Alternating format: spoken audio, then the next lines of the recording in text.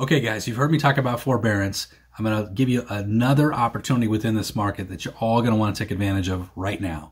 So we know right now there's 1.86 million homes that are in forbearance. It's about 3.5% of all the mortgages in America.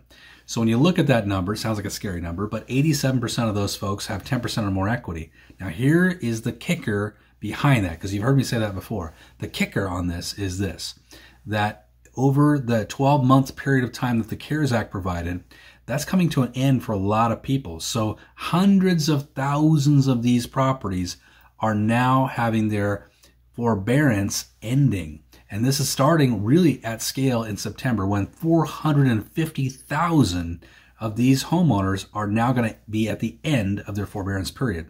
Now, here's the good news 87% of those folks have 10% or more equity because we've had such a massive you know, equity buildup over the past 12 months. So they can actually sell. They're not underwater. They can sell and escape their home. Now, this is where we have to have some good messaging. We need right now to get out on social media, maybe through an email, through whatever kind of communication you want to do, but you got to talk to your sphere of influence and just say, hey, you might be aware that several people, maybe people that you know in our community, lots and lots of people have taken advantage of something called forbearance. During COVID, there was something called the CARES Act, which provided for some relief for mortgage holders uh, so they could avoid making some payments, get some reduced payments.